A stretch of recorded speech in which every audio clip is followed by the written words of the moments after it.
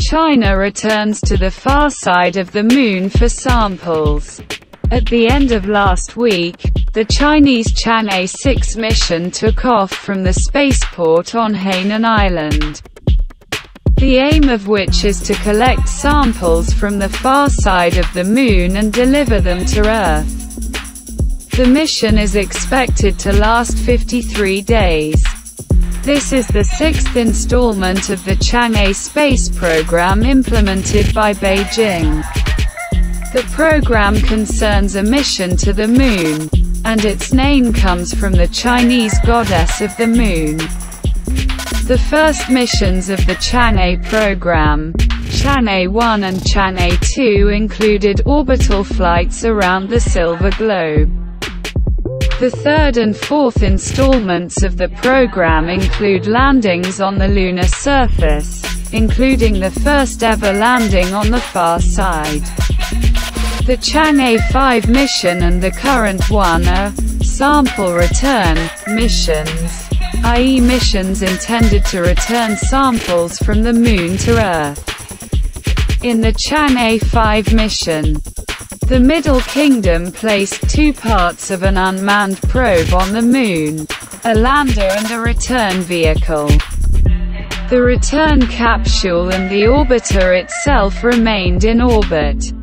The lander drilled into the lunar soil to a depth of about 2 meters, from where it collected samples of material.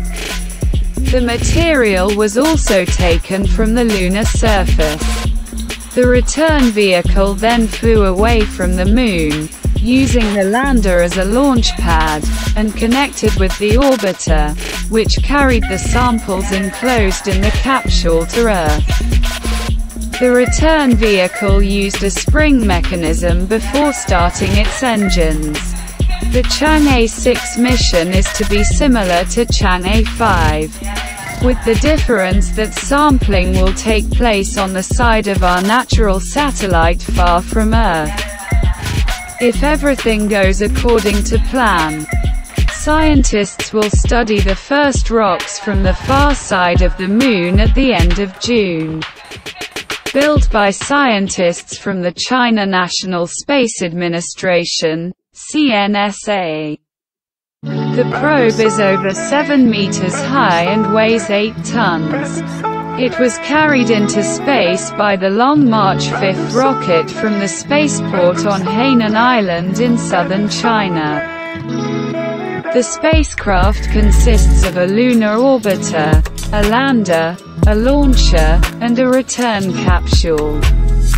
All samples brought from the Moon so far come from the visible side. Operations conducted on the far side require a communications satellite to act as a relay station for communication between the lander and Earth.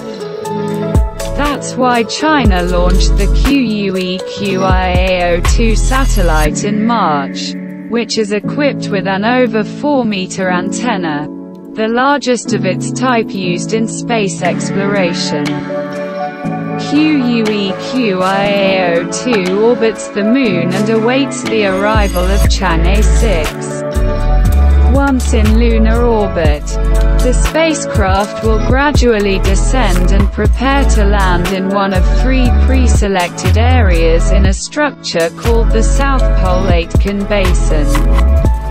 It is the largest known impact structure in the entire Solar System and the oldest on the Moon. One of the selected places is the Apollo crater.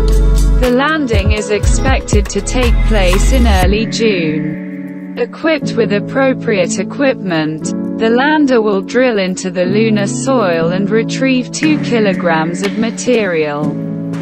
Some samples are also to be taken from the surface. Then, a small probe with samples will take off from the lander, which is supposed to connect with the orbiter and deliver the material to Earth. Thanks to QUEQIAO2. The spacecraft and Earth will remain in contact during critical moments of the mission. Chang'e 6 is expected to return to Earth around June 25. Beijing's ambitious space program assumes sending astronauts to the Moon by 2030. Around the same time, the Chinese want to bring samples of Martian soil to Earth. But before this happens, further missions from the Chang'e program will fly to the Moon. The Chang'e 7 mission is scheduled to launch in 2026, and the Chang'e 8 mission in 2028.